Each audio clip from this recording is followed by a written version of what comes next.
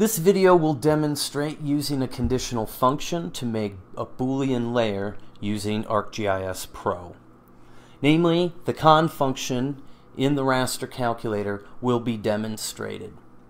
The data being used for this demonstration is a digital elevation model of Mount St. Helens. And so the con function that I'll be demonstrating can be used to convert pixel values in a raster and the function applies a user-defined condition and if that condition is true it assigns a particular value as defined by the user and if that condition is false the function applies a second different value that is also defined by the user. So let's take a look at this. So first we want to open up the raster calculator and we can do a search from the geoprocessing pane and we find the raster calculator. We want to select the raster calculator associated with the spatial analyst tools. And from here, we go over to Tools, and we want to scroll down below this list of relational operators, and we find the con function here we double click on it, we see it's added to the expression box. Next, we want to define that condition. And so first I want to add in my uh, raster input.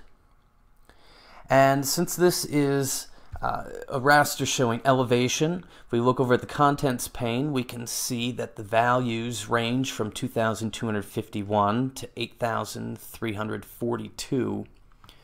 I'm going to specify a condition here. I'm looking for uh, values greater than 7,000. So I'll build an expression here. So I've got my input raster. Let's scroll up to my relational operators and select greater than and then enter in 7,000. And if this condition is true, I want a value of 1 to be assigned to those cells. So after a first comma following the condition I've, I've specified, I'll add a 1. And if that condition is not true or it's false, I want a value of 0 to be assigned. So I will add a second comma and after that I will add a 0. So we can think about this expression here.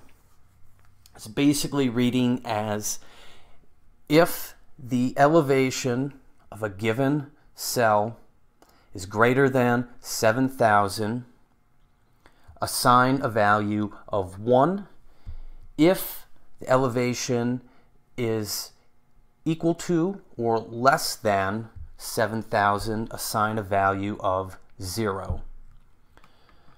Now I also want to uh, give a name to this output. So I'll just call this um,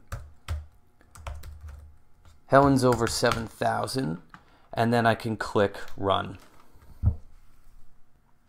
And we see that the output is shown here on the map. And we can look and see that we have values of 0 and 1. And that's also reflected here on the map and so we can see those uh, cells that had a value of over 7,000 now have a 1. If we click on just a, a random cell here, we can see indeed it has a value of 1. If we click on a random cell out here, we can see that indeed has a value of 0.